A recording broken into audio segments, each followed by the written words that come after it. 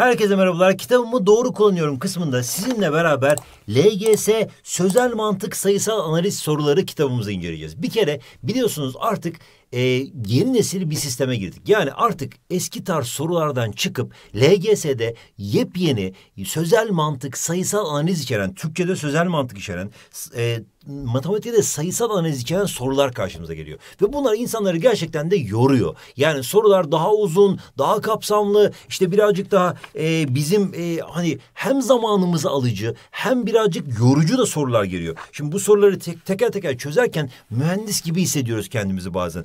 Bazen diyoruz ki biz üniversitede mi izliyoruz? Bazen diyoruz ki ya bu kadar zora ne gerek vardı veya bu kadar karışığa ne gerek var diyoruz. Ama biz bunları bir şekilde çözmek zorundayız. Yani sınava girdik. Başarılı olabilmek için, en iyi yer, yerlere girebilmek için bir kere bunları çözmek zorundayız. Peki bu durumda ne yapmamız gerekiyor bizim? Gerçekten de hani bu kadar karışık kurgulu sorular geldiği zaman bizim ne yapmamız gerekiyor?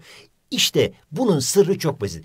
Sınava girmeden önce bu tarz soruları görmüş, çözmüş, bitirmiş ve gerçekten de bu konuları kavramış olmak gerekiyor. Peki bunun için ne yaptık biz de? Sözel mantık ve sayısal analiz soruları. Yani birazcık daha akıl oyunu gibi soruların olduğu, birazcık daha bizim hani kafamızı karıştırıyor hafiften ve soruyor o şekilde soruyor da gerçekten sınavda kafamız karışmaması için önceden hazırlık yap yapacak bir kitaba ihtiyacımız vardı. İşte biz de o yüzden bu kitabı hazırladık. Şimdi kitabın içeriğine bakalım, zorluk seviyesine bakalım sizinle beraber. Bir kere e, soru sayısı iki, e, pardon sayfa sayısı 252 sayfa ve soru sayısı 391 sayfa. Nasıl oluyor ya bu diyeceksin. Gerçekten de soru sayımız az çünkü az ve öz sorulardan oluşmakta. Gerçekten de kitabımızın içerisindeki sorular birazcık eleyici. Hatta zorluk seviyesi de o yüzden üst seviye bir kitap diyebiliriz. Yani bizim hani yeni nesil dediğimiz, beceri temel dediğimiz sayısal analiz tarzı sorular. Yani mühendislik içeren sorular. Formül yukarıda verildi ama formüle bakarak neredeyse kalem oynatamadığın ama gerçekten de çözmeye başladığın zaman zevk aldığın ve için içinden kurgudan çıktığın zaman kurguyu anladığın zaman soruda gerçekten de sana çok kazanımlı olacağı yani sorunun sana çok büyük katkıda bulunacağı sorular koyduk senin için bu kitaba. Dolayısıyla bu kitabı çözdüğümüz zaman zaten dolayı e, do, e, inanılmaz bir şekilde dolaylı yoldan matematiğimizi inanılmaz geliştiriyoruz ve sınavdaki e, o stres altında yapamamazlık olayını tamamen atacağız. Zaten ben zaten en zorunu yapmışım. Ben en e, üst seviyesini yapmışım. Sınavda çıkarsa ne olur be diyeceksin ve yapabileceksin inşallah diyoruz. Peki hemen bakalım bakalım yeni nesil anlam bilgisi ve dil bilgisi soruları var. Mesela Türkçe'ye bakalım. Hemen Türkçe'ye baktık. Bir kere e, bu karışık kurgu soruları vardır ya sözel mantık soruları işte Necla şöyle yaptı Mehmet böyle yaptı bu tarz sorularla başlıyor Türkçemiz. Ardından bu şekilde ilerledikten sonra birazcık şıkların uzun olduğu işte görsellerin olduğu infografik tarzı soruları da göz kırpıyoruz ama tablo soruları çok ağırlık, ağırlıklı. Biliyoruz tablo soruları da Türkçe'de sanki matematik dersiymiş gibi çıkmaya başladı son senelerde.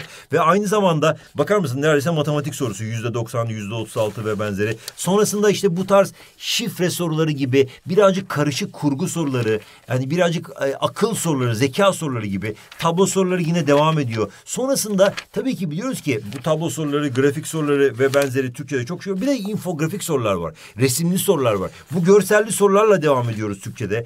Türkçe'de devam ettikten sonra bu görselli sorularla bu şekilde ilerliyoruz. Birazcık daha hızlı geçelim buraları. İşte bu tarz akıl oyunları soruları, okuduğunu anlama soruları, görseli okuyabilme soruları sonra matematiğe geçiyoruz. Matematikte hemen karşımıza problem çözme, dikkat ve yorum becerisi gerektiren sayısal analiz soruları geliyor. Yani bir soru bir sayfa tabii bu kitabın boyutuna baktığımız zaman diğer kitaplardan birazcık daha küçük. Yani şöyle koyduğumuz zaman hatta şöyle bakalım normal kitap boyutu buysa kota kitabımıysa birazcık daha küçük bir kitabımız. Ama küçük olmasına rağmen içindeki özelliğe baktığımız zaman gerçekten çok değerli sorular içeriyor. Ve buradaki e, bütün soruları yatay, yeni nesil bütün sorular beceri temelli olmak üzere bütün soruları yatay hazırladık ve gerçekten de hani üst seviye sorular diyebiliriz. Ama LGS'de çıkabilecek tarzın yani kazanımların asla üst, üstüne çıkmıyoruz. Kazanımları asla geçmeden ve LGS'de çıkabilecek soruların bir tık daha üstünde zorlukta sorular hazırladık. Dolayısıyla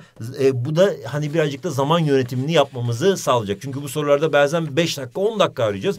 Ama yapamadığımız bu arada her sorunun çözümünü de videolu bir şekilde izleyeceğiz. Mesela herhangi bir e, mesela şurada bu soruların mesela şu ikinci, e, ikinci soruyu yapamadık. İkinci soruyu yapamadıysak hemen tat, tak diye buradan TATS uygulamasıyla e, sorunun çözümünü videolu bir şekilde izleyebileceğiz. Dolayısıyla hiçbir şekilde endişe etmeyelim. Yapamadık yapamadık diye. Halbuki bunların hepsinin videolu çözümü var. Peki bir önceki adım neydi bunun? Aslında kotaydı bir önceki adımı. Yani bir, bir sıralama var bizim kitaplarımızda biliyorsunuz. Hani ilk başta sıfırdan da başlıyoruz.